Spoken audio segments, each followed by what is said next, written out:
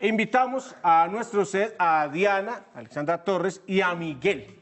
Miguel tiene siete años y viene con su mamá. Me encanta la pinta de Miguel. ¿Qué Vino tal? supremamente elegante. Me- nos contó que está estrenando corbata. ¿Cierto, Miguel? ¿Está estrenando corbata? Sí, Excelente, Miguel, pero la corbata viene con la camisa por lo que veo. sí. Hacen conjunto. Es que venían pegadas, venían iguales. Ah, de- ay, ¿quién te la regaló tan bonita? Mi mamá, ¿Para esta ocasión especial o ya la tenías guardada? para esta ocasión. Genial, me encanta que te tomes esto tan en serio. Bienvenidos a Paso a Paso, ¿cómo están? Diana, qué Muy rico bien, tenerlos con nosotros. Muchas gracias. Miguel, ¿cuántos años tienes? Tengo siete años. Tienes siete años. ¿Cuál es la historia de Miguel, eh, Diana?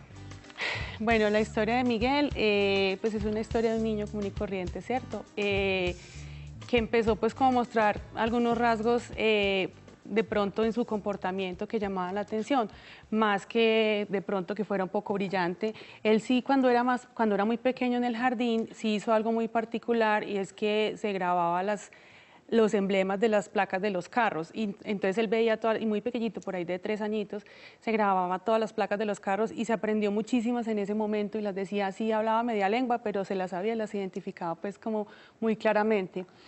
Placas y marcas. Sí. Y yo me acuerdo que, que cuando mi, yo chiquito, yo, yo decía, mi mamá me decía, ¿cuál es, el- ¿cuál es este color? Y yo, como la camioneta de mi papá era blanca, yo decía, ¿qué color es este? Por ejemplo, me mostraba un papel blanco y yo decía, color camioneta de papá. Porque todavía no sabía decir Como mi color camioneta. taxi. Decía color taxi. Sí, eso decía. Ese Eh, ¿Y tú de te acuerdas? Mira, yo, a ti no te tocó, pero hace muchos años participé en un reality. Hubo una prueba que era de memoria. Teníamos que nadar en el mar, mirar al fondo del mar y grabarnos el orden de unos bombombunes que estaban en desorden y luego salir a armar lo que habíamos visto en el fondo del mar en desorden, en orden en un tablero similar que teníamos en la playa. Era una prueba de memoria y después de eso fue en el 2004, hace Ah, 12 ¿sé 12 qué? años. 12 12 años. Si yo cierro los 2004. ojos, yo me acuerdo del orden. Fresa, lulo, rojo, morado, azul y piña. ¿Y los viste solo una vez? Los vi una vez, me gané la prueba, me demoré 3 minutos 42 segundos y cuando estaban entrenando la producción para hacer la prueba, se demoraron 13 minutos 18 segundos. Yo me acuerdo que Margarita Rosa se quedó como, ¿qué pasó aquí? Obviamente yo no tengo ninguna habilidad de esas. Lo que quería eh, con esta historia es preguntarte, si cierras los ojos, ¿te acuerdas de las marcas de carros que veías en tu guardería? No. ¿No te acuerdas hasta allá? Es que yo, yo sí, yo, mi mamá me, me, me pregunta qué cosas me acuerdo de bebé y yo no me acuerdo nada. De nada te acuerdas. No. Algunas. Y ahora, ¿a, a qué es lo que le dedicas eh, la mayor parte del tiempo? ¿Qué te gusta aprender? Me gusta aprender, no sé, me gusta aprender tecnología, matemáticas. Mi papá a veces me enseña a construir cosas. Un día arreglamos una, una aspiradora, Wow. Sí. ¿Y te enseñó él a ti o tú a él? él a mí. Muy bien. Eh, Diana decía que empezaron ciertos rasgos del comportamiento, más que de actividades cognitivas propiamente, como cuáles, por ejemplo. Mm, digamos que había un tema de algo de irrita- de irritabilidad. Eh, en esa época en el jardín la profesora nos expresaba, decía, yo tengo que dejar a Miguel salir primero que sus amigos, salir al descanso y, y- y a correr. Que los niños le decían, profe, pero ¿por qué deja salir a Miguel y nosotros no? Porque era él, porque lo tenía que hacer para liberarle esa energía y, can- y canalizar esa energía que Ah, yo- tenía Terminaba en ese primero que todo. Yo me acuerdo, yo me acuerdo que la profesora a mí me había una manga muy grande por allá que yo mí- ella me mandaba a correr, pero no me acuerdo por qué. Y tú corrías y corrías y corrías. Daba vueltas.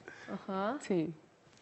Y en ese entonces la profesora nos dijo, hay algo que, pues, hay, un, hay algo, se marcan algunos rasgos ahí con Miguel, es bueno, pues, como que tengan un acompañamiento eh, adicional.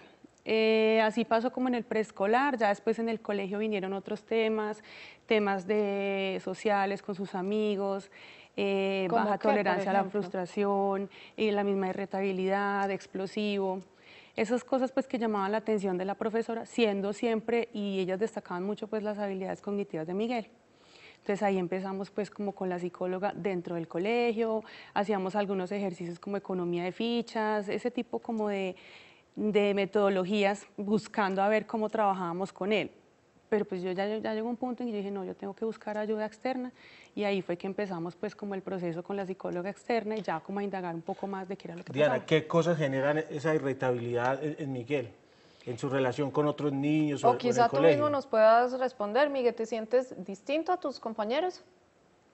Sí, ellos, yo siento que, yo siento que, por ejemplo, cuando me toca la prueba, no me confío tanto, porque la profesora me dice y me dice que cuando se confían eh, es donde más se equivocan.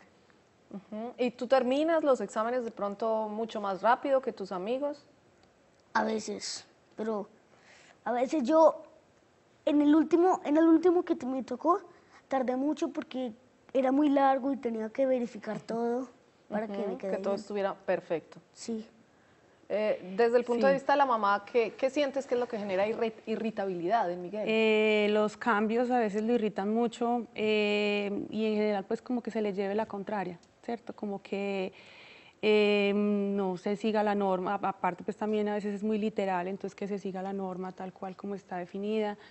Eh, esas cosas pues lo irritan, que no le respeten el turno, pues digamos que cosas que en general a los niños les molestan, ¿cierto? Pero él maneja de una forma más... Las expresa más, Sí. más Cuando rápido. tú buscaste ayuda, eh, ¿ya sabían por dónde eh, No. iba el asunto o en qué momento se dieron cuenta de que Miguel era un No, niño que no, no podía teníamos tener ni idea. habilidades eh, extraordinarias, No, no, no, no sabíamos, pues yo simplemente busqué pues como un apoyo para ese manejo del comportamiento, porque pues el colegio apoya, nosotros leemos, investigamos, pero pues uno no se las sabe todas. Entonces, eh, eh, digamos que fue más como por ese lado donde ya lo empezaron a mirar y bueno, pues aquí puede haber algo más, aquí puede haber algo más, podemos ir más allá.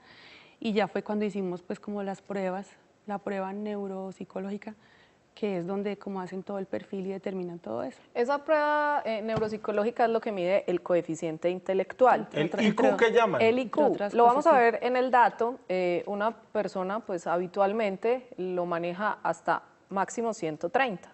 eh, y ahí por debajo pues Esos son los que tienen... nos mantenemos todos. 130 es el, el IQ alto. Sí, Los ah, somos los que no entendemos ni Q. Más o menos. El- es el límite, de ahí para arriba eh, se dice que son niños con talentos, habilidades excepcionales. Miguel tiene, 139.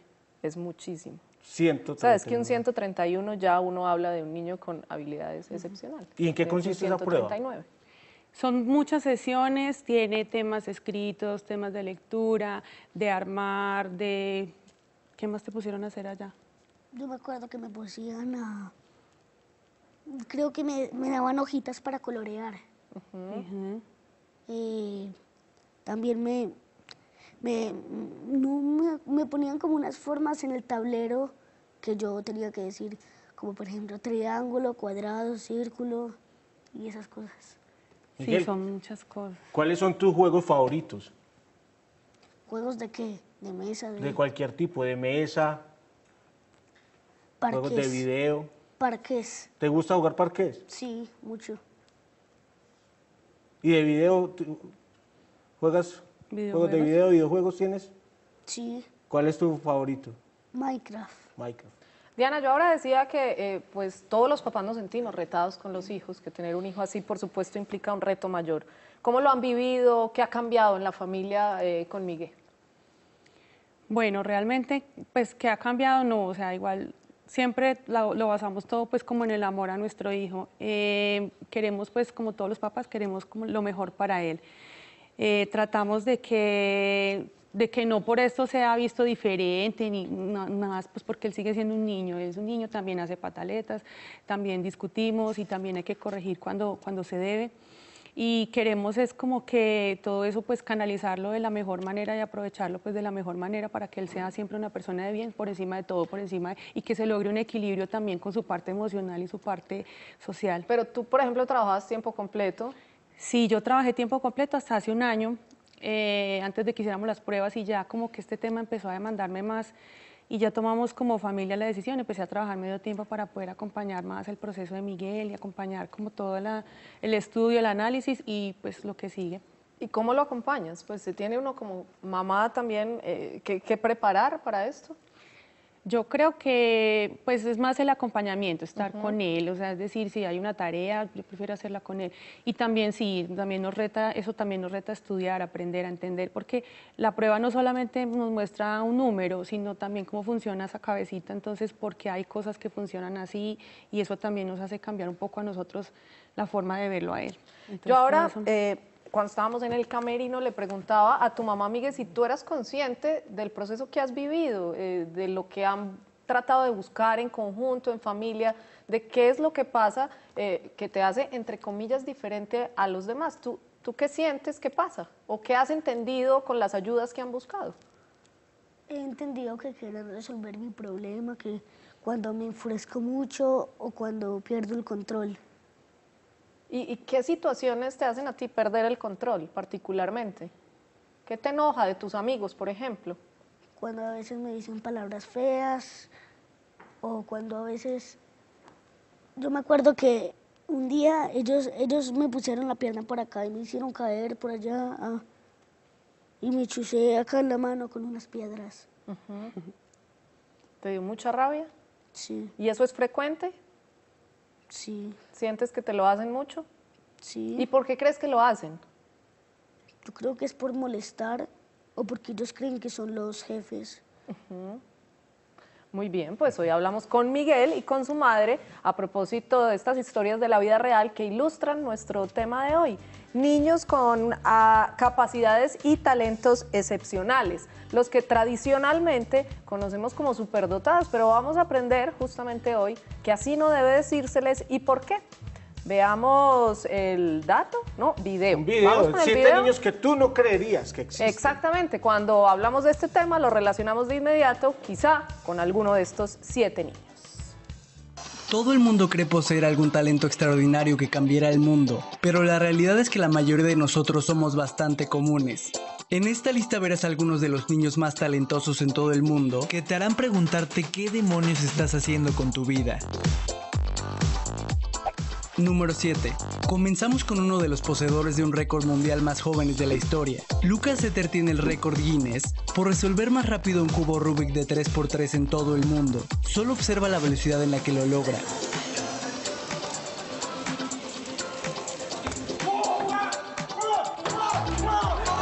Tan solo 4.9 segundos fueron necesarios para que este pequeño resolviera un cubo que se veía de esta manera y lo transformara en esto. Increíble. Número 6. Aprender a tocar un instrumento es una de las cosas más complicadas para una persona, y no hablar del tiempo que tardas en ser reconocido, ya que la gente común y corriente tardamos muchos años para perfeccionar una habilidad como esta. Bueno, todos menos algunas cuantas personas talentosas, pero te apuesto que ninguno de ellos le llega a los talones al pequeño Ryan Wang. A sus 5 años de edad, ya estaba tocando en los teatros más prestigiosos de todo el mundo. ¿Quieres saber lo más extraordinario de todo? El pequeño aprendió a tocar el piano a los 4 años y medio. Eso quiere decir que le tomó menos de 6 meses en llegar a este nivel. Número 5. Les presento a He Jai, el niño chino de 5 años, quien tiene el título del piloto más joven del mundo. En el 2013 decidió que los simuladores ya no presentaban ningún reto para él, así que convenció a sus padres para que lo dejaran pilotear una avioneta de verdad. Ya mencioné que tiene 5 años. El vuelo duró 35 minutos, y aunque el pequeño iba acompañado de un instructor por si algo malo sucedía, este no intervino para nada, pues el niño se encargó de despegar, volar y aterrizar el avión por sí solo. Dime, ¿tú qué estabas haciendo a los 5 años? Número 4. Girl Terra es como llaman a esta pequeña de tan solo 6 años de edad. Rápidamente ha cobrado fama en todo el mundo gracias a sus movimientos y habilidades en el breakdance. Sus padres dicen que su hija más pequeña comenzó a bailar desde los 2 años de edad y desde entonces es en lo único que piensa. Esta pequeñita pero talentosa bailarina ha ganado muchas competencias internacionales y estoy seguro de que seguirá impresionándonos y mareándonos en el futuro. Número 3. A los 11 años de edad, Priyansi Somani, o mejor dicho la calculadora mental humana, se inscribió en el torneo de matemáticas más importante en el mundo. Ella era la participante más joven de toda la competencia, pero esto no evitó que la ganara con facilidad, sino que además lo hizo con un puntaje del 100%, algo que nunca nadie había logrado hasta ese día. Para que te des una idea de su talento e inteligencia, Priancy es capaz de resolver 10 raíces cuadradas de 6 cifras, obteniendo todos los números decimales en menos de 7 minutos. Y yo que me quejaba del álgebra de la secundaria. Número 2. A muchas personas en el mundo les cuesta mucho trabajo dibujar o pintar, ya que ni siquiera un monito de palitos les sale bien. Definitivamente Autumn de Forest no es una de estas personas. Esta niña de 14 años comenzó a pintar desde los 5 años y vaya que tiene talento, pues algunas de sus obras más famosas se han vendido por más de 25 mil dólares. La talentosa joven pintora ha sido parte de decenas de galerías en todo el mundo y recientemente firmó un contrato con Disney para hacerles varias pinturas. Número 1. En el último puesto de la lista tenemos a Giuliano Stroe, quien hace 6 años fue nombrado como el niño más fuerte del mundo. Hoy en día a sus 11 años de edad, este niño romano posee no solo este título, sino muchos otros de fuerza, agilidad y resistencia. Y aunque es muy famoso en las redes sociales, la mayoría de las personas se preocupan por su salud y su cuerpo,